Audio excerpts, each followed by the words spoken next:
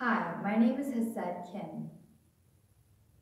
When one thinks of the word hero, one specific image usually comes to mind. The flying red and blue cape defender of the earth, Superman. At one point, he embodied the model man with his unwavering moral compass and loyalty to Lois Lane. Yet today, he has lost relevance, with some dismissing him as overpowered and outdated. How could a hero go from being a classic film icon to a tacky cliche? What could such a perfect hero still be lacking? True heroism exceeds a flawless moral record. In fact, some of the most timeless heroes are the ones that rise from deep falls in their life. The best hero reflects mankind rather than opposing him.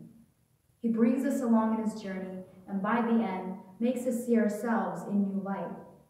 He meets us in our daily death and lifts us up to new hope, strength, and life. Understanding the fall of heroism in our culture starts with understanding the relationship between culture and Hollywood.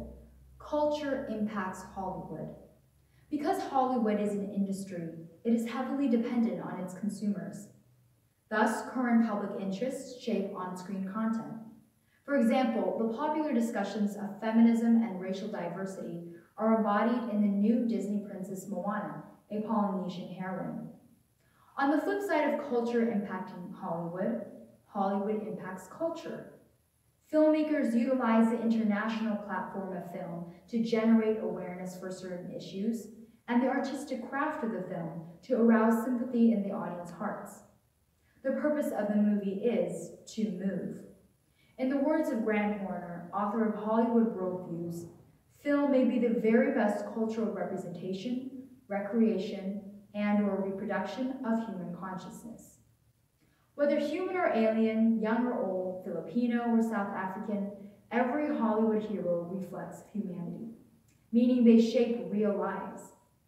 Fictional superheroes serve as timeless role models for millions of children and adults alike.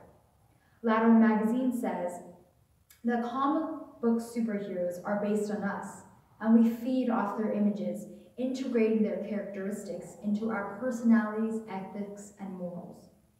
Frequently, however, filmmakers embellish their heroes with a glorified girls, guns, and gambling's lifestyle. Even beyond the physical indulgence, culture has become addicted to mentally, emotionally, and even spiritually selfish heroes. It has become the cult of our culture. Regardless of the message the movie touts, these heroes cannot lead us to a liberating truth and purpose. Yet many heroes continue to fit this mold with little variation. For example, the wildly popular TV show Game of Thrones features graphic debauchery and bloodfest of its characters. Such are the heroes of our culture, the very same ones that children continue to don the capes of and look up to as role models. Film heroes are in need of reform. But returning to the old mold of Superman is neither creative nor the perfect fix.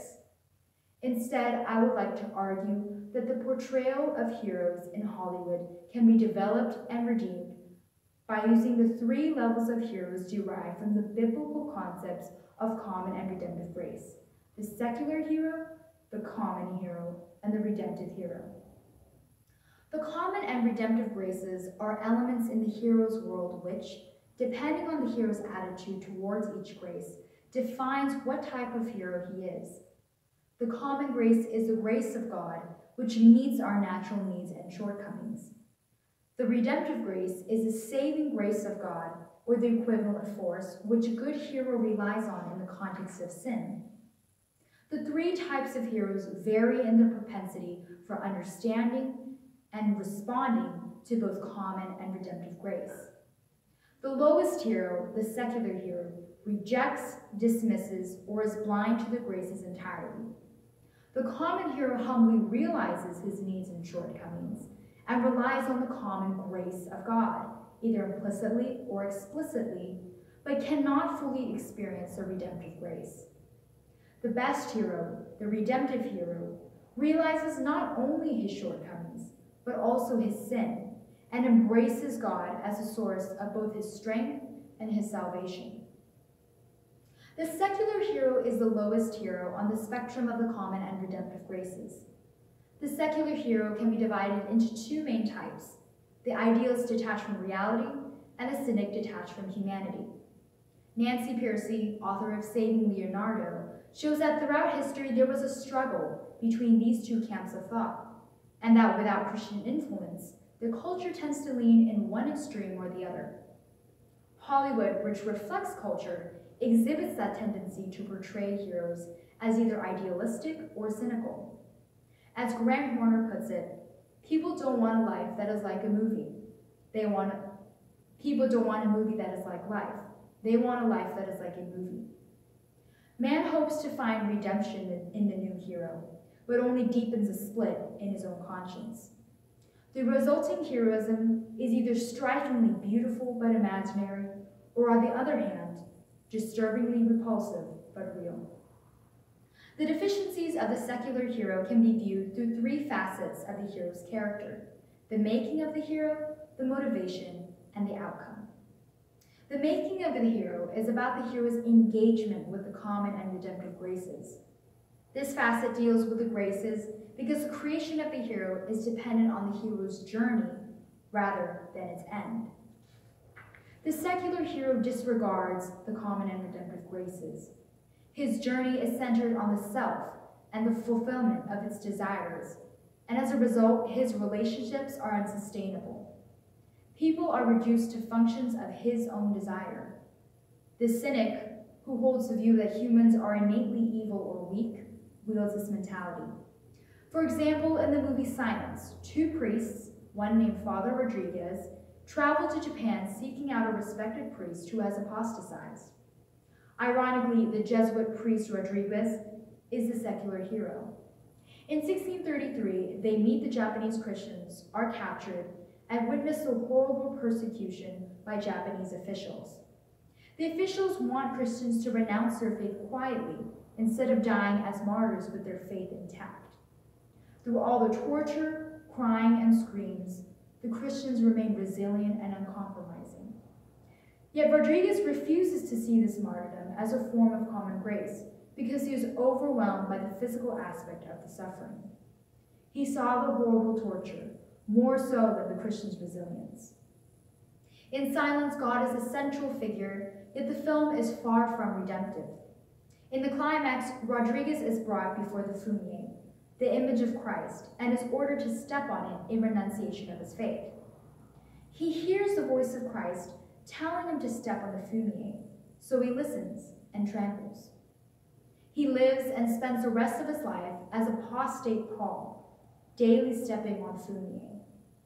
At the start of the film, he set out as a Jesuit priest to accomplish missionary work and honor God. But by the end, he has failed to do both and has become a practicing Buddhist. Even the voice of Christ that Rodriguez hears is a false form of redemptive grace. The real Christ gave up his earthly life to bring us eternal life. So stepping on Christ in order to preserve one's eternal life is contradictory. Yet Rodriguez steps without repenting of it afterward. Rodriguez fails to rely on the saving grace of God to conquer death and pass into eternal life with him. The idealist too can reveal self-centered motives under the facade of romantic innocence. Disney and Pixar are the prime examples of this, as all their movies and characters embrace faith, trust, and pixie dust. Disney's most recent princess film, Moana, tells the story of the daughter of a Polynesian chief who journeys to return the heart of the goddess Te Fiti in order to restore order and harmony to her home island.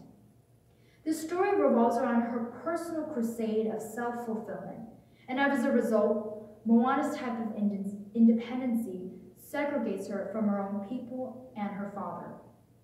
From the beginning, her father tells her, you are the future of our people, Moana, and they are not out there, they are here. As a chief in waiting, Moana has a duty to care for her own people, but she escapes them in order to follow her passion of sailing the sea. According to Disney, in, doing, in the battle between doing one's duty and following one's heart, following one's heart is always the right decision, even if it is at the expense of your most important relationships. The self always wins. In addition, Moana overlooks her shortcomings. In fact, the movie suggests that she suffered because she did not believe in herself enough and acknowledge who she was at heart. Common grace and redemptive grace are thus absent in the film. The next facet of the secular hero's deficiency can be seen in the motivation, which is to glorify himself. The idealist journey, as seen in Moana, is essentially a self-righteous crusade masqueraded as a quest for goodness. Rodriguez may be bitter and conflicted over the Christian suffering, but when he himself faces a fumie, he decides to do what saves his own flesh in the moment. Rodriguez accepted Christian faith as an individualistic and subjective kind of faith, rather than the universal kind of faith that is truly captivating. The makings and motivations of the idealist and the cynic are the same, but the end result is slightly different for each. As C.S. Lewis says, the idealist ends like a Greek comedy, one in which everything works out. It appeals to the universal pursuit of happiness that is futile for most. The audience enjoys the ending, knowing that they can never obtain it in real life.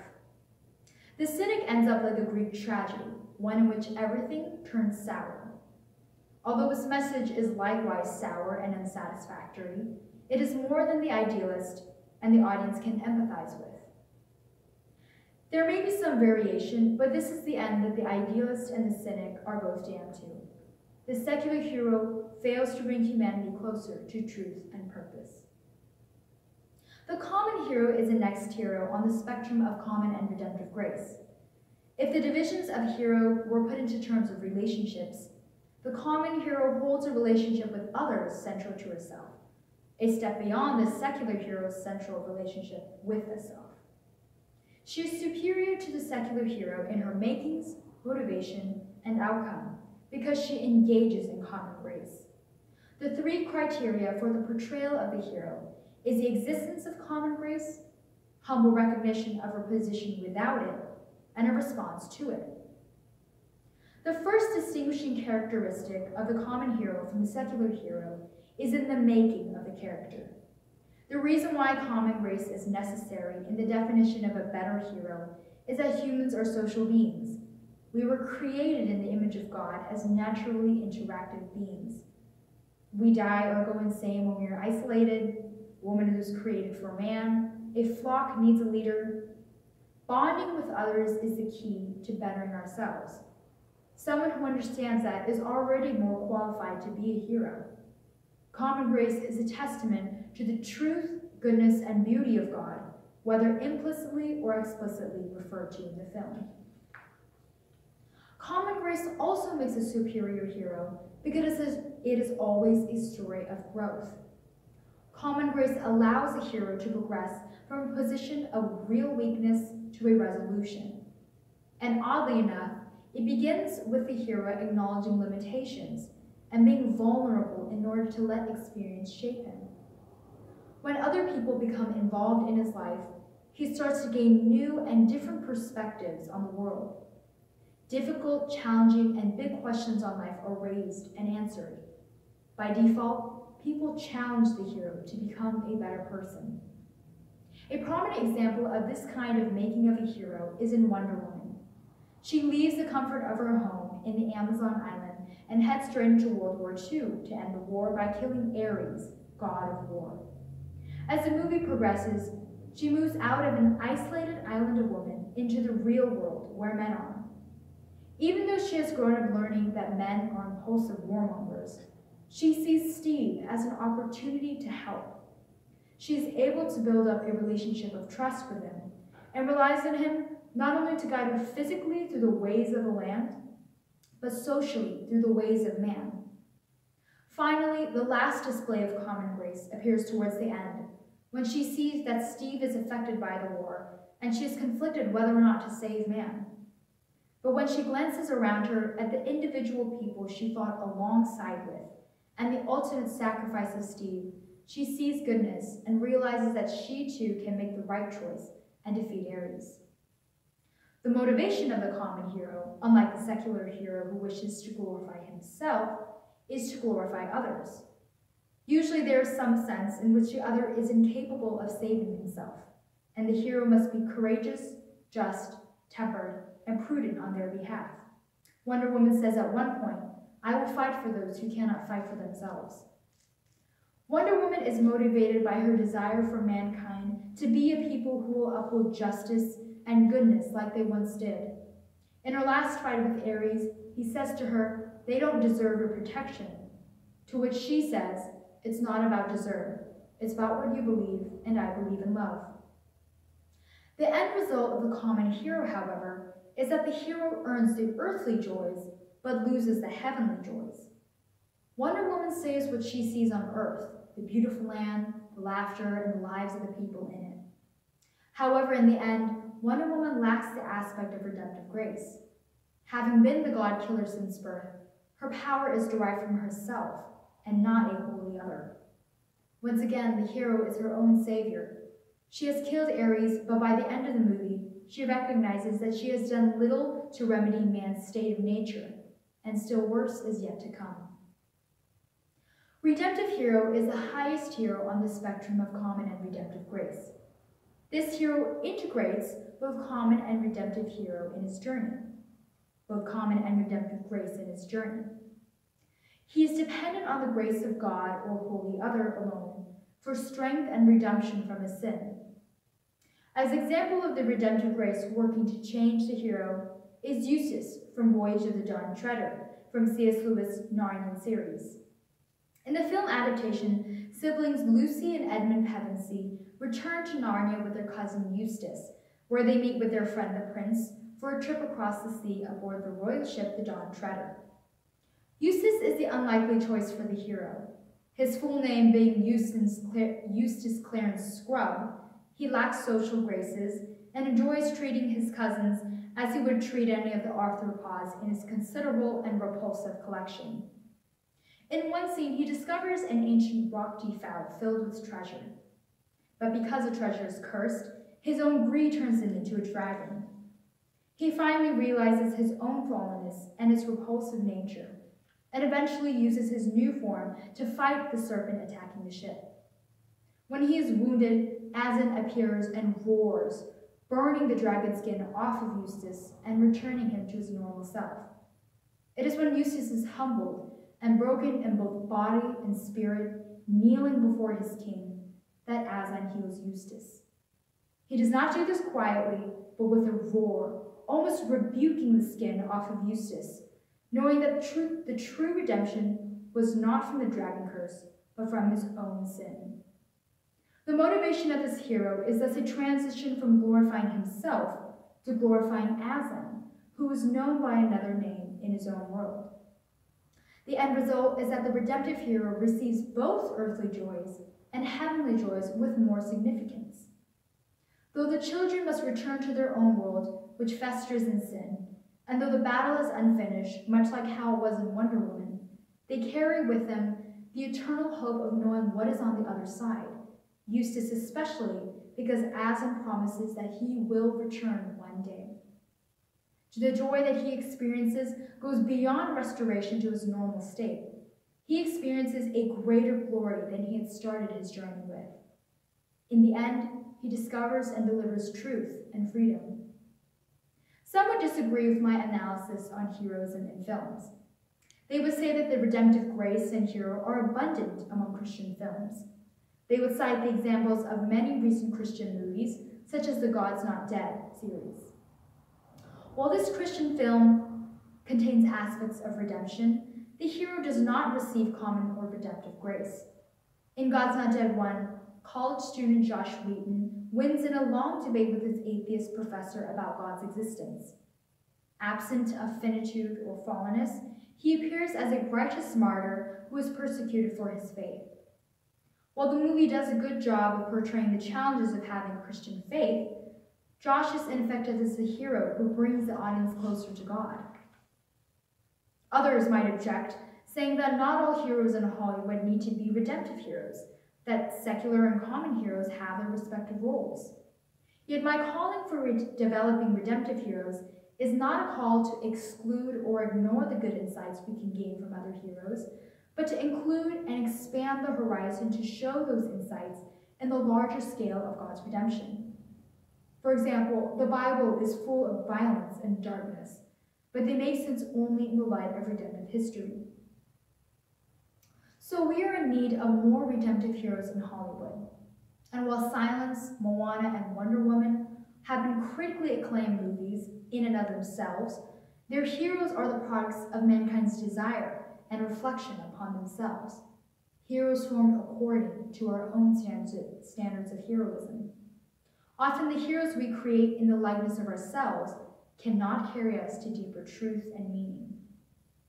However, when we create heroes that reflect the redemptive grace of God, these heroes help us to understand the deeper truth and meaning of life. C.S. Lewis himself was saved by one of these hero stories. One night in 1930, he was strolling the gardens in Magdalen College in Oxford University with his friend J.R.R. Tolkien. Having just come out of World War I, Tolkien was describing the horrors of war to Lewis, stressing the urgent need of a hope beyond this world. In ancient mythologies, gods sacrificed themselves to save people. Tolkien suggested that perhaps such different mythologies stemmed from a real event in history, that there stood a real hero behind the mythical ones. That night, Lewis accepted Jesus Christ as his Lord and Savior. As this example illustrates, we are in need of more redemptive heroes in stories and in films because they can serve to stir up our imaginations for the one true hero, Jesus Christ, who meets us in our daily death and lifts us up to new hope, strength, and life.